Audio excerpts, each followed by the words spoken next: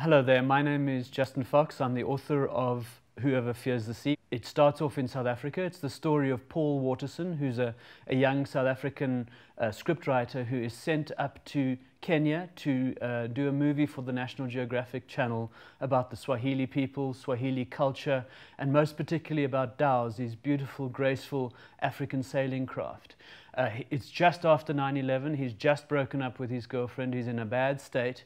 And he slowly um, tries to heal his heart, his broken heart, as he travels up the coast. He has a number of inappropriate sexual adventures. He um, sails on incredible, beautiful dhows up the coast to Lamu, which is this beautiful northern island in Kenya. And at that point, he starts to think about maybe crossing the border into Somalia. And he eventually uh, convinces a dhow captain to cross the border into Somali waters. And at that point, he gets captured by Somali pirates.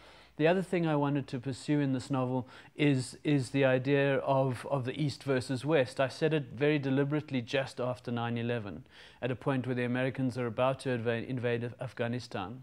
So you have a, a young white male English speaking South African with a fistful of dollars moving in along a coast that is Muslim and Swahili and is also torn between East and West. And I wanted to bring all these kind of conflicts out uh, in the narrative. I hope you enjoy the novel.